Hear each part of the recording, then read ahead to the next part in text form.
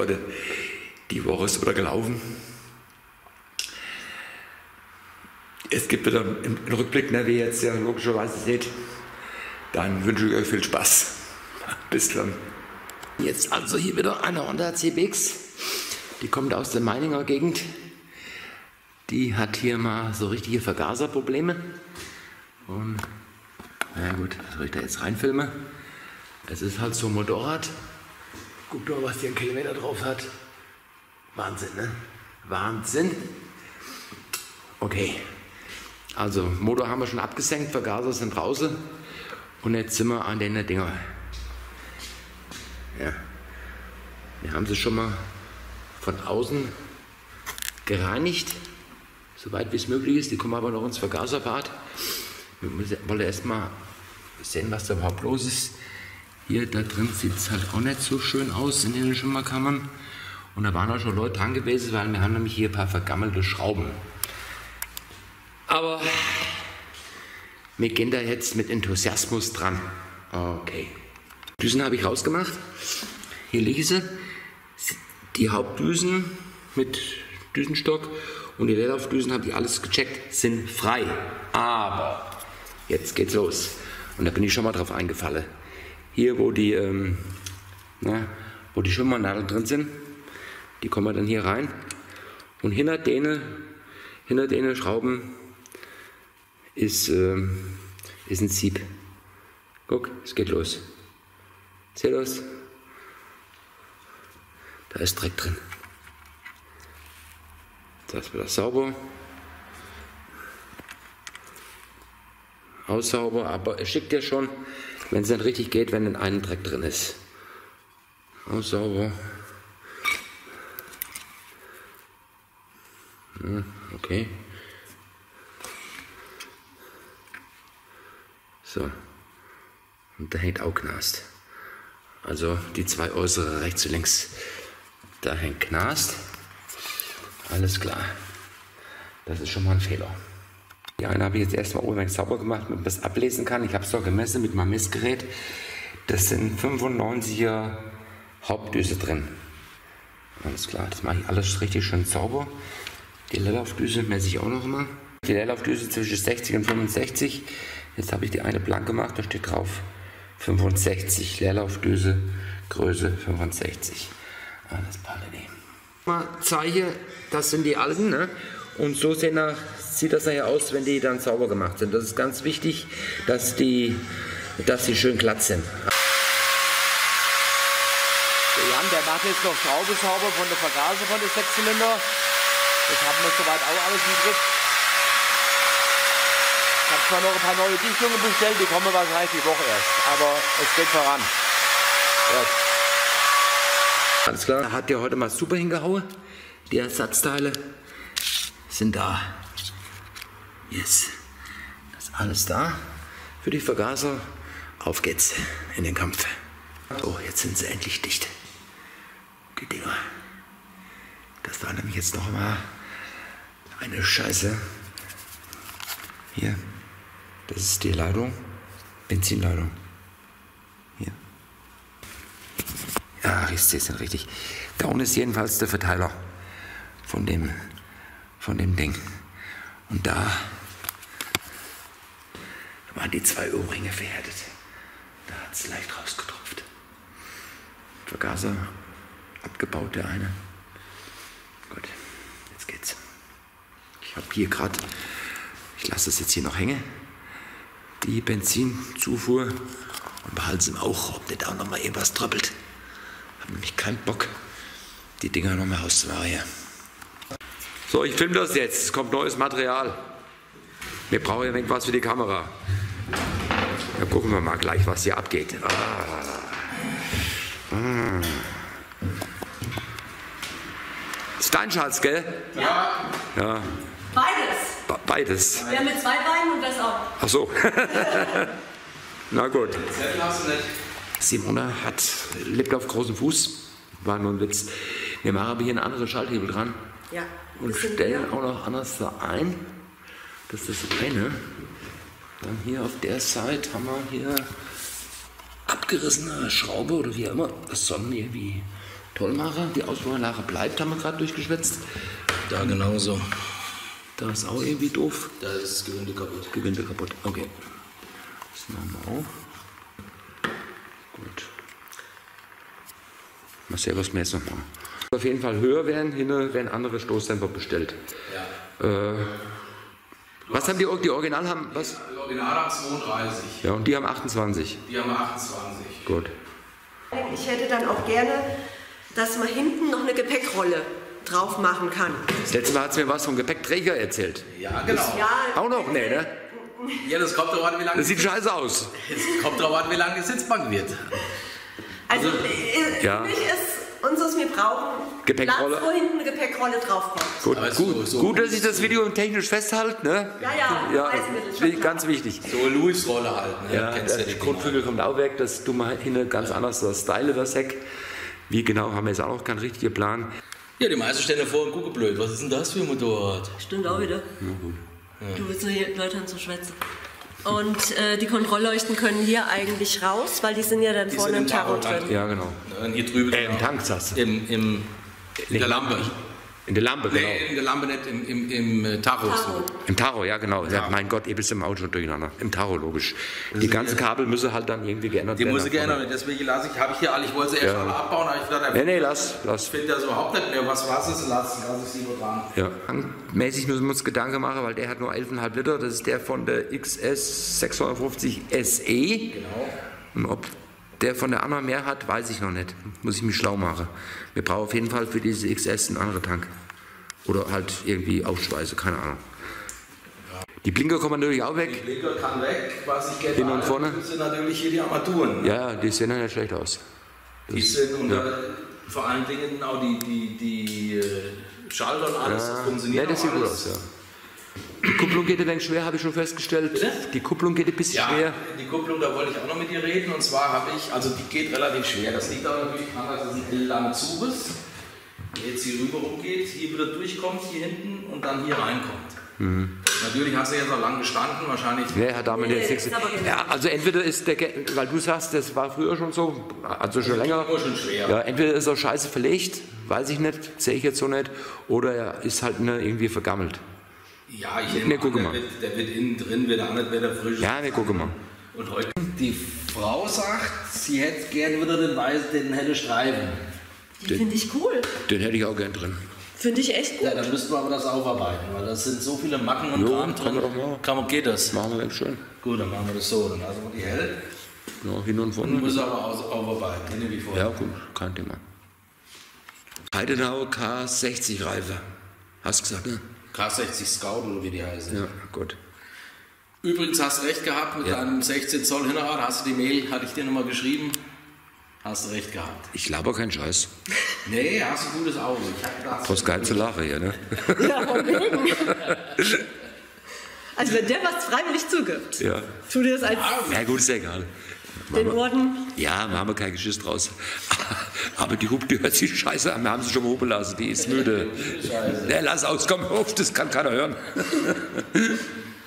Füller sehen das nicht mehr so lecker aus, dann machen wir neue drauf. Wahrscheinlich KN. Punkt. Der Wahnsinn nimmt seinen Lauf. Da sind Schraube drin. Oh Gott. Katastrophe, Katastrophe. Kawasaki. Ständer. Deckel muss alles sauber gemacht werden. Gesamtstrahlt werden. Auspuffkrümmer. Die Schalldämpfer kommen vielleicht auch noch drauf. Hier ist schon mal Gesamtschalt gewesen, ist aber wieder rostig angesetzt, kann gerade alles nochmal gemacht werden. Eine Katastrophe. Hier fängt der Wahnsinn wieder an. Das gibt dem Motorrad. Wie du spielst da in deiner Honda herum? Das typische dran machen.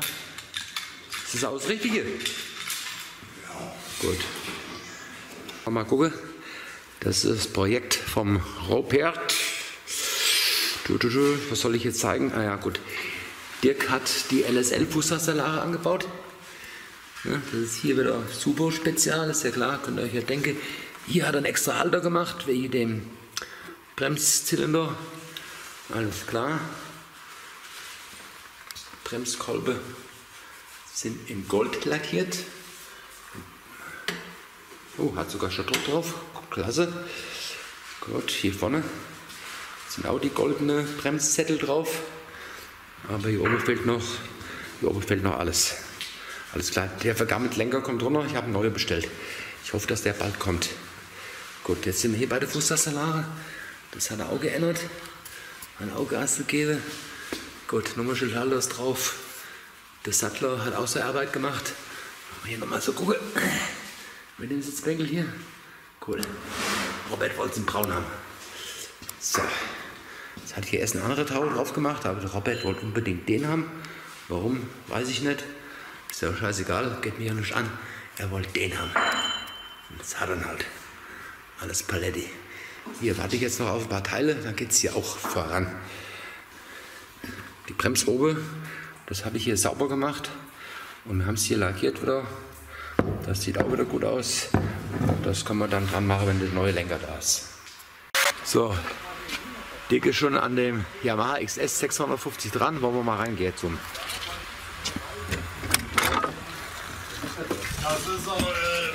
Guten Tag, Herr Kommissar. Grüß dich. Grüß dich, Stefan.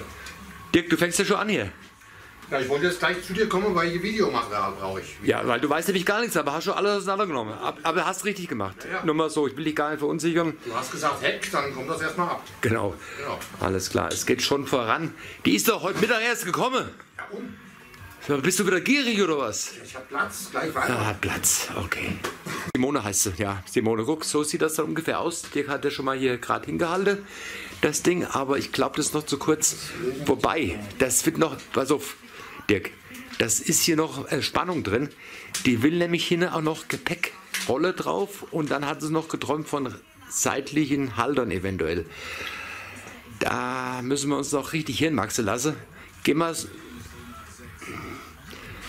hier, ich mache es erstmal aus. Es wird zu kompliziert. Die YouTuber müssen jetzt dann nicht alles mitkriegen, was wir jetzt noch besprechen. Das dauert zu lang. Das dauert zu lang, ja. Ah. Jedenfalls, die Elektrik ist gemacht. Die Bremse habe ich jetzt auch entlüftet. Das ist geil, ne? Die haben nämlich den Hauptbremszylinder hier ohne Sitze, die BMWs. Und dann ist hier oben noch Seilzug dabei. Ja, ist gut. Jetzt ist gut, da war nämlich kein Druck drauf. Da unten sind die Bremszettel. Alles klar.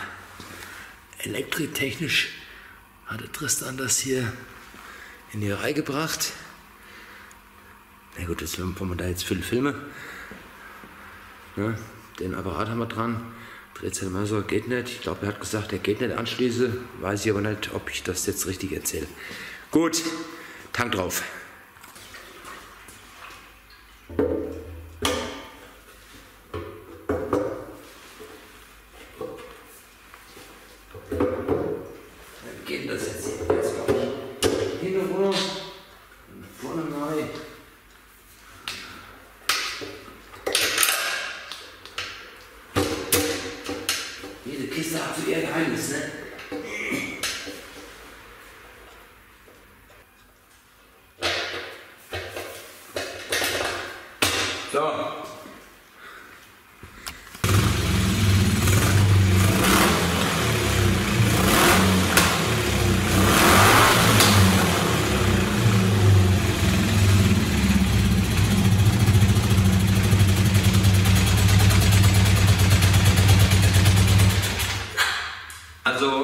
Glaube, das ist nicht so schön.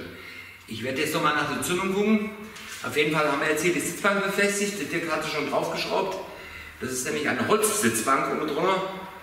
Und der Dirk hat sich wieder hinwachsen lassen, die hat das festgerichtet. Jetzt wollen wir mal gerade mal von unten reinleuchten, weil Dirk war wieder schnell. Gerade mal hier gucken. Ja, das Sieht man ganz schlecht. was hast du denn? Hier hinten? Ja, sieht man aber nicht jetzt. Hast du da, Leuchte mal von hinten. Warte mal, Dirk. Dirk, hast du da Gewinde ins Holz geschnitten oder was hast du gemacht? Das ging theoretisch auch, das hält aber nicht lang. Ich habe da Gewindebuchse reingedrückt. Ja, ich, ich kann es jetzt schlecht filmen. Fünf Gewindebuchse drin und vier Schräubchen. Und die ist bombenfest. Alles klar. Du musst halt nicht so fest anziehen, weil das Holz knackt, ne? Immer schön. Ist halt, ist halt kein Blech, ne? Na gut, auf jeden Fall. Äh, es geht mit der BM Schub dich da jetzt voran. Geprompt hat sie jetzt schon mal. Gut. Hofrunde gibt es auch noch.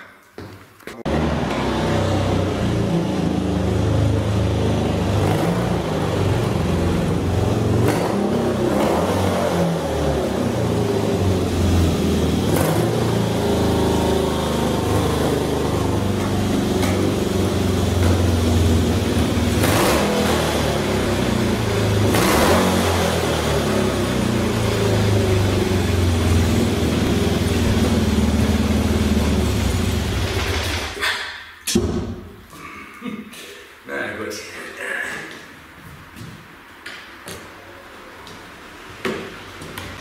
Sie dampft. Alte Dampfmaschine. Na gut. Ist schon mal ein Vorteil, dass sie angesprungen ist. Sie geht noch ganz blöd vom Gas runter, also da ist noch ein bisschen Arbeit dran. Elektrik geht, muss ich jetzt nicht vorführen, geht alles. Aber noch ein bisschen, noch ein bisschen Action. Ist ja schon ohne Dirk Ja. von der XS. Ach, hast du denn schon mal so ein wenig vorbereitet? Das habe ich jetzt hier, das hat er schon die Auflage, hat er schon den Abstand. Wenn wir hier mit dem ganzen Bock jetzt noch ein bisschen höher kommen, dann hat das wie das ganze Bügel aus. Dann haben wir auch hier Platz mehr. Das ist jetzt nur geheftet alles. Denk dran, das Mädchen legt ganz großen Wert drauf, dass eine Gepäckrolle hinter drauf kommt. Passt hier schön in die Mulde. Ja, ist richtig. Das ist schon. Und eventuell, da müssen wir aber erst, wenn die Anstoßdämpfer haben, dann müssen wir noch was, noch was bauen, damit sie rechts und links so entschraubbare Gepäckträger hat. Ja. Und da habe ich mir auch schon was überlegt, weil hier sind ja so schöne Schraube drin. Da war mal ein Gepäckträger dran. Da können wir den irgendwie mit irgendwie was machen. Das muss man erst mal sehen. Ja, genau. Aber es geht schon mal ein bisschen voran. Jo. Schön, glaube ich. Wenn die Simone den Film sieht jetzt im Wochenrückblick und es gefällt ihr nicht, du hast es dir nur angeheftet, Nur geheftet. das sollte sich sofort melden. Wenn es Go gibt, dann schweiße ich es zusammen. Gut. Okay. Hassan? Ja. So, ich habe jetzt hier noch so einen Tank gefunden, der ist von der Honda. Bin mir gar nicht sicher, ob der Bordeaux ist. Nicht? Ich denke, der wäre Bordeaux. Ich bin, ja, ich weiß ja genau, aber okay. Könnte sein, man weiß auch nicht. Jetzt mal so grob. Muss noch Ja. ein bisschen geändert werden, alles. Hier die Ecke halt logischerweise weg. Ja, der Pop ist ein bisschen hoch, doch- dann sieht das gar nicht ja, schlecht das aus. sieht doch gar nicht schlecht aus. Geh mal mit der Kamera so rum, damit man das mal so, so sieht. So, hier Kennzeichenhalter. Ja gut, hinten, das haben wir ja schon gefilmt, Dirk. Und hier, das Schloss wird halt umgesetzt. Da kommen hier so die Seitendeckel hin. Genau. Hey, ist jetzt blöd, weil das Schloss hier der Weg ist. Ja, so kann man es aber erkennen. Alles gut. Jo, Vorne noch. Lenker noch drauf und fertig, fast. Andere Schutzblech, andere Lenker. Ja gut, das ist jetzt Quatsch, brauchen wir jetzt nicht. Ja. Das ist mein Freund Dieter, mein alter Kampfgefährte. Weißt du noch, 94 haben wir angefangen, Ducati-Rennen zu fahren. Ja, Ja. Und äh, gut, wir haben, ja, wir haben ja tausend Jahre da miteinander äh, erlebt. Aber du hast jetzt aktuell auch eine Ducati 900 SS. ja, die habe ich mir letzte Woche zugelegt. Cool. Ich bin auch total glücklich. Und ich habe auch eine. Ich, ich, ich tue das hier nur mal so. Du zeigst es erstmal den YouTuber deine Ducati. Und dann, lass, dann tue ich noch mal so ganz kurz eine Fahrblase damit reinmache, wo ich dann auch. Ich habe ja auch eine. Aber hat nichts mit unserer Rennerei zu tun. Nur in Nee, also, wir, haben- wir haben ja damals nicht gefilmt, wir haben ja viele Bilder. Da mache ich vielleicht mal einen extra Film. Aber jetzt zeige ich einfach mal nur so deine neue Ducati. Ne? 900 SS. Und, und, was fällt mir? Moment, du fährst so ein Hightech-Motorrad. äh, 1290 Super Adventure. Da ist sowas fahre ich ja nicht. Weil die Straßen immer schlechter werden. Ja, okay, ich halte halt den Lenker fest. Ja, Dann zeige ich mal die Bilder da. Moment. Das ist die neue Errungenschaft. Ja, Meine ist älter, meine hat noch einen weißen Rahmen, meine ist eine 92er, die ist glaube ich 94er. Die ist 94. richtig. Also das ist jetzt so dein aktueller neuer Schatz, wo du da hast. Ja. Du hast ja alles auch original, ne? Ja, das sieht aus wie aus dem Leben. Ja, der, der Kupplungsdeckel ist offen. Okay. Ja, den habe ich natürlich. Ja, das hat ja jeder gemacht damals. Oh, oh. War das schon oder hast du den runtergeschmissen? Nee, der, das war so. Aber ich habe alle Originalteile Hast du auch noch. mit dazu bekommen. Hier, du hast da bestimmt noch ein paar alte Rennbilder drauf von früher. Ja, Gut. mal zurückblättern. Da, die Nummer 36 bist du. Richtig. Wo war ich denn? Bin, bin ich schon durch Du oder bist was? immer vor mir. Okay. Ja, damals waren wir noch heingärige Werksfahrer. Ja, genau. genau. Wir, waren, wir waren gesponsert von Herrn Gerige. Das war ein Kolmar Berg, wie man hier unten noch sieht. Ja, Ja, ja, okay. Da habe ich noch ein Video. Als ich sie abgeholt habe, habe ich sie mal angeschmissen. Soll ich es mal laufen lassen? Ja gut, dann lass halt mal laufen, damit, damit die... Damit man mal die Trockenkupplung krabbeln hört. Kannst du dich noch erinnern, wenn wir früher mal an der Ampel standen, wenn die Honda-Fahrer neben uns stehen, haben sie uns gesagt, das Motorrad ist ja kaputt. Da haben wir gesagt, wenn wir Beschleunigung machen, siehst du erstmal, wie weit die kaputt ist. Sie hatte immer schwer Mitleid mit uns, bis wir dann losgefahren Genau. so Leute, jetzt nur mal so. Der Dieter hat nämlich, ich habe damals schon eine Auspuffverlage drauf gehabt, aber du hast die Originale gehabt. Der haben die Krümmer geschliffen auf der Stross. Ich zieh das mal größer. Ja, warte schön. Ah ja, hier. Sieht man's? Oh, Hier, da ging's ja noch. Du hattest ja die Krümmer durchgeschliffen. Ja, man sieht auch, wenn man genau guckt, die Fußraste, äh, die war auch nur noch die Hälfte. Ja. Das hat nicht lange gedauert. Da waren die Originalanbauteile dreiviertels weg. Ja. Und du warst damals in der Zeit noch Student. Du konntest dir die tangentiale Auspuffanlage, wo ich drauf hatte, nicht leisten. Ja, Das weiß ich generell, Äh, wir haben das am Anfang angefangen, ganz normal. Wir halten die Bälle flach. Im Ja. zweiten Jahr, äh, da wurde dann, Der und ich, mir zwei die Bälle flach halten. Das hat nie funktioniert. Das war da wurde dann aufgerüstet, äh, Slicks gefahren. Oh, Die gingen gar nicht auf die Felge drauf. Da mussten wir hier zaubern beim Montieren. Flachschiebenvergaser drauf. Nachschieber, der Stefan, ich nicht. Weil mangels Masse ist das ausgefallen. Und die, äh, die, diese Positionen bei den Rennen waren ja immer schon mir. Der Harald war ja auch noch dabei. Der kam aber, glaube ich, erst später. Ne? Richtig. Es war immer so Platz 4, 5 und 6. Ja, Das war immer so der Einlauf. Und dann musste es getunt werden. Battle of Twins. Ja, Battle of Twins haben wir damals gefahren. Und dann musste sie getunt werden. Ich bin dann ausgeflippt. Du hast gesagt, ich bin Student, leck mich am Arsch. Genau. Wer war's? Das war schon geil. Du bist ausgeflippt, ich bin ausgestiegen. Ja. Da kann ich mich aber auch noch erinnern. Ich glaube, das war in Colmar Berg, wo ich nach dem Rennen zusammenbrechen wollte. Hat keine Energie mehr, nichts, war total ausgetrocknet, es war völlig fertig. Und da hast du mich dann noch äh, im Fahrerlager zu unserem Wohnwagen, wir hatten ja schon Wohnwagen, da hast du mich dann so gestützt, damit ich da heil Hingetragen. hingetragen habe. Ja, ich wollte es jetzt nicht so Und sagen. ab dann äh, ging es mit Getränkerucksack weiter. Genau, da habe ich nämlich damals schon einen Getränkerucksack gehabt. Das war ja damals noch gar nicht so aktuell. Ne?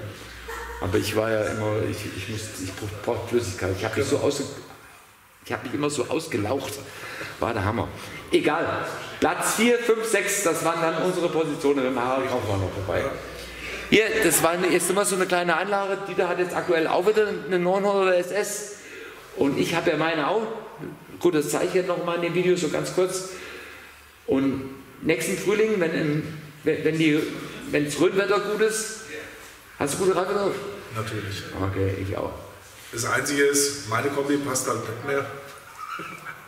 Er, er ist ein bisschen größer geworden der, im, im, Zeit, im, Ja. im Lauf der Zeit, aber meine passt noch. gut. Wenn wir zusammen schade, geben wir aber nur 85 Prozent. Natürlich. Also Höchstens. keine 100. Höchstens. Ja. Reicht ja auch. Schon schick. Schon recht schick. Ne? PS haben die heutzutage? 200, glaube ich. Ja. Die haben aber das viele Modus drin. Die haben doch alles Mögliche da drin. Ja, haben wir ja nicht. Die 200 PS liegen halt auch nur bei 13.000 Umdrehungen an. Und meistens sind sie bei 6. Die Ducati, die Ducatis drehen ja nur 7000. Hier, ich mache jetzt mal Schluss, das schickt jetzt auch, das war jetzt gut. Ihr habt ja gesehen, gestern Abend war mein Freund Dieter da. Ich habe hier nochmal so ein Bild. Er hat ja gestern auch Bilder gezeigt. Das will ich übrigens mit meinem Apparat. So haben wir in der Ecke gelegen. Es war schon fantastisch. Hier gibt es auch noch mal eins, da hatte ich auch noch Verkleidung drauf. Das war auch cool. Na gut. Racing live, sage ich nur. Mir hatte schon immer richtig Spaß. Das war schon echt cool. Ich, ich hoffe, dass ihr wieder ein bisschen Spaß gehabt hat, habt. Gut, was soll ich sagen? Ich, ah ja, genau. Ich mache wahrscheinlich am Sonntag, lade ich noch einen Film hoch. Den habe ich mal gedreht, St. Wendel auf dem Kaffeeräser dreht, aber es geht nicht um Kaffeeräser. Es ist Rock'n'Roll. Und den tue ich wahrscheinlich am Sonntag hochladen, wenn ihr Lust habt. Rock'n'Roll. Und dann ist es euch auch nicht langweilig. Ihr könnt ja tanzen dabei, dann friert ihr auch nicht. Also alles klar. schöne Woche und nächste Woche geht es logischerweise in irgendeiner Form weiter. Bis dann. 啊！